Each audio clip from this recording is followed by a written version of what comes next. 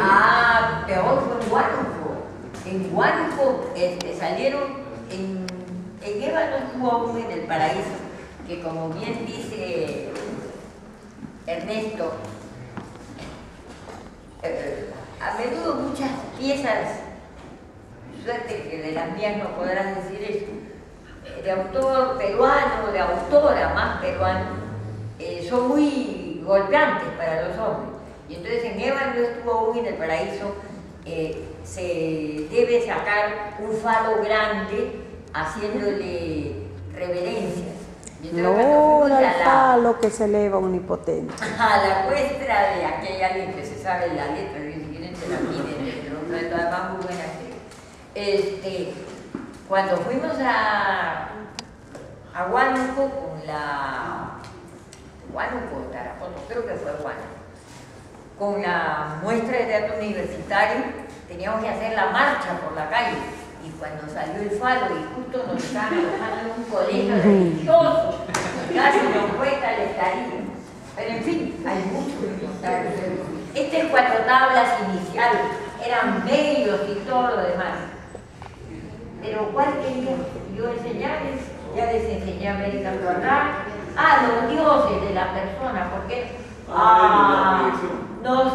acá porque esta es una pieza histórica. Claro. Eh, miren, si ya les cuento la historia de los grillos mezclados con la del Teatro del Sol, no me van a creer. Así que no lo cuento. Lo dejaré para mis memorias. Estos dos fueron unos locos maravillosos. Estos dos son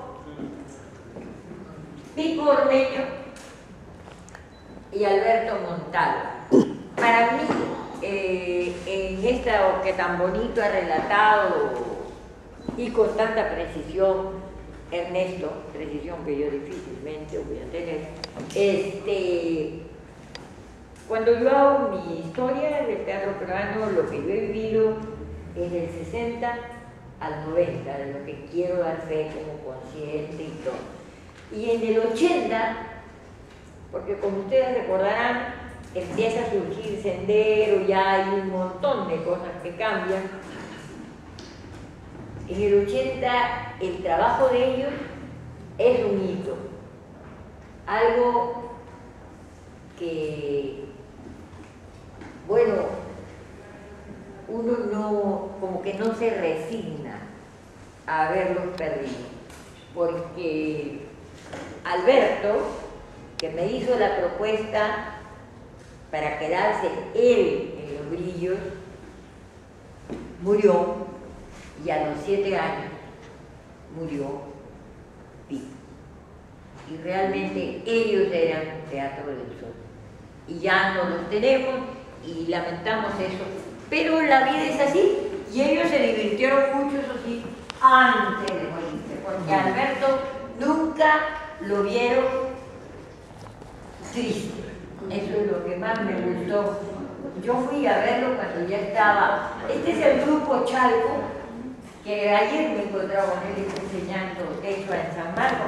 Es un grupo que ese día, para variar, había huelga y los cachimbos se daban las vueltas.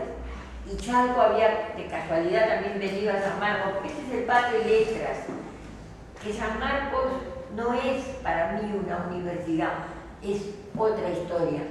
Y entonces, como los chicos no tenían nada que hacer y los chavos estaban con sus quetacas, yo le dije, oigan, hagan una función. Y esa es la historia de esa función. Naturalmente, sin pedirle permiso a nadie ni nada. porque, Bueno, no había nadie tampoco a quien pedirle permiso. Este es el grupo Alondra, de hace mucho tiempo, y ya esto ya, ahí lo matamos nomás, señorita Saquil, porque si no nos quedamos aquí. Les decía que esto del teatro sí se los recomiendo. Ahí tienen ahora los que se van cambiando, que se van viendo mi papá, y se te ponen muy larga la historia.